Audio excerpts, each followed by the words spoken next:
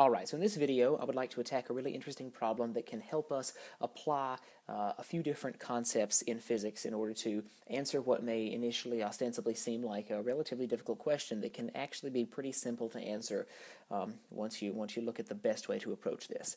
So uh, this is actually a problem taken directly from a WebAssign.net homework assignment from Serway's College Physics, 9th edition pertaining specifically to Chapter 15, Electric Forces and Electric Fields. So I'm going to read the problem verbatim for us, and then we will go through and uh, break it up into pieces and attack it and see if we can walk through all the steps. So the problem states, quote, a molecule of DNA, deoxyribonucleic acid, is 2.33 microns long.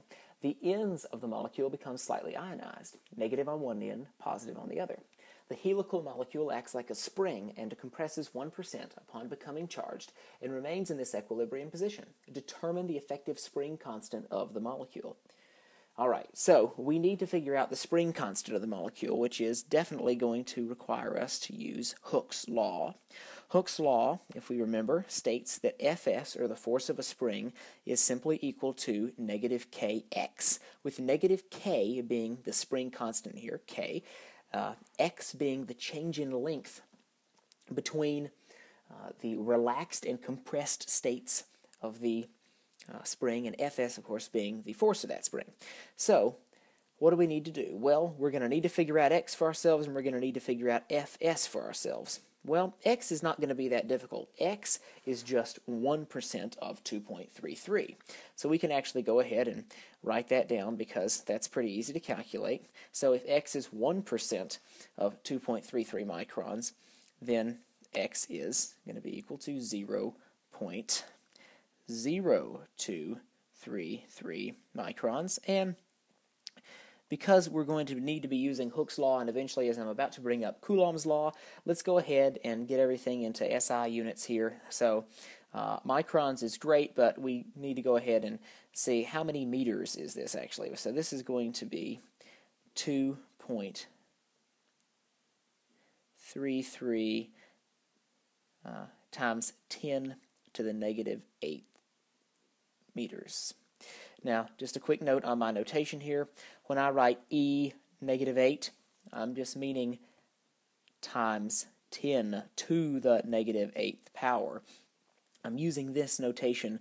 Uh, don't confuse this e with the e we're going to use uh, for the charge of uh, the charge of an electron or a proton uh, or anything like that. This is just a, a, shorthand for notation to write a scientific notation. So 2.33 times 10 to the negative eighth meters is our x here. So we have x and we need k, so that means uh, that we're going to have to figure out fs for ourselves, like I said. So what is fs? Well, that's the force on this spring. Well, in that case, the force on this spring, because we know it's ionized, is just going to be equal to the force on it due to the electric field or the electric force that's going on. So we can actually figure that out through what? Through Coulomb's law. Well, Coulomb's law states that force of an electric charge is equal to negative Ke, Coulomb's constant, times the absolute value of Q1 times Q2 over R squared. Make a better R there. Times R squared. All right. So Ke, like we said, uh, Coulomb's constant, and then Q1 and Q2 are just the, the two charges about which we are concerned, and R squared is the distance or radius between those two charges. So since we have this new expression, let's rewrite Hooke's law in order to incorporate this. So if we do that, we can come up that the force on the spring is simply equal to the electric force, which is, as we said, equal to negative Ke times the absolute value of Q1 times Q2 all over R squared. So now this means that we have all the information we need in order to figure out what the electric charge or what the electric force is, which will tell us what the spring force is, which will allow us to only have one missing variable in our equation and bring us directly to what K is, what the spring constant is, which is what we're looking for, what we care about in this problem.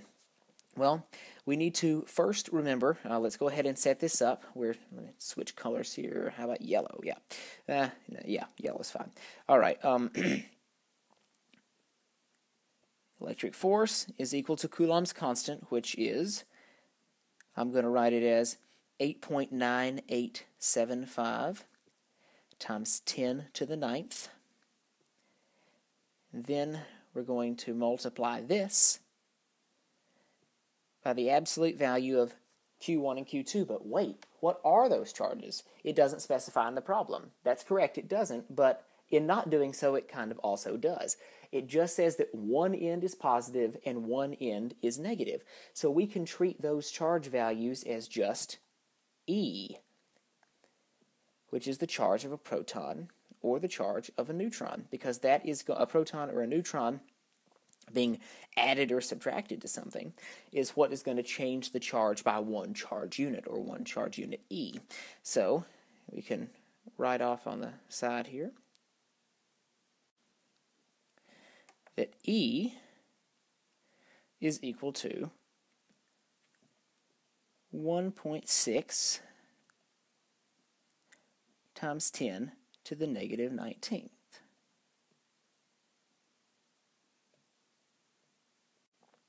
Bearing that in mind, we can write that down for our charges here, 1.6 e to the negative 19th, and because uh, we have this multiplied by itself, we can just say it's that absolute value squared, right? That's just going to be easier over r squared. Now, what is our r? Well, our r is just the initial length of that spring, which was 2.33 microns, which now, though, is, of course, 2.33 uh, times, ah, wait, we'll actually have to do a little bit of extra math here.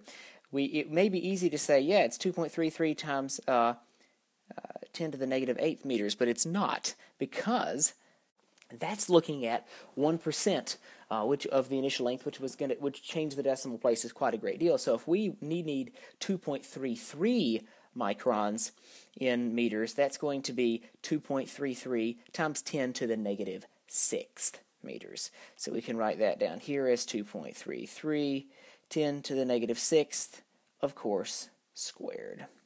So this is our new expression, and this tells us that, let's switch colors here again, that FE is, I'll make that a better E, the FE is just equal to 4.238 times 10 to the negative 17th newtons. All right, so great. This is extremely useful information. Now that we have that, what do we need to do? Well, let's go to a new page and let's start rearranging things again. If we know that Fs is equal to Fe, which is equal to negative Kx, then we know that 4.238 newtons is equal to kx. Well, let's go ahead and rearrange negative kx, sorry. Let's go ahead and rearrange this again because we want to get k by itself. So let's just divide this by x, divide this by x, very simple. We'll cancel those out, and that will allow us to arrive at the new conclusion that 4.238x is equal to negative k. So, what is x? Well, we had already figured out that x is, you know, as described in Hooke's law, the difference in the initial uh, and final values of the spring when it is being contracted. So we have that x is 2.33 times 10 to the negative 8 meters. So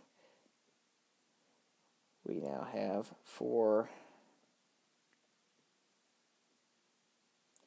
4 point let's yeah right, okay, 4.238 times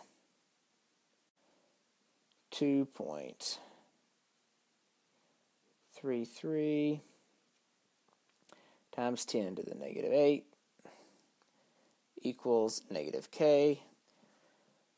Therefore, this shows us that negative k is just equal to 1.82 times 10 to the negative ninth newtons per meter.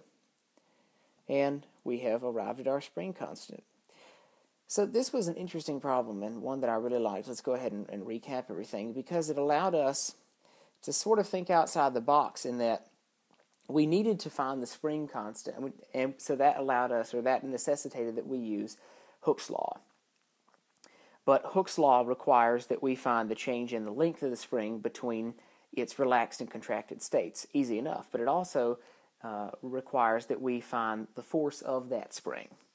And we didn't know what that was just from looking at the problem, but we could figure it out because we knew that it had to be equal to the electric force. So that allowed us to combine Hooke's law and Coulomb's law into one big problem, equating those using some known values like Coulomb's constant and the charge of E, and rearranging everything to give us our final value. So, a pretty interesting problem, pretty simple. Any questions, feel free to post them in the comments.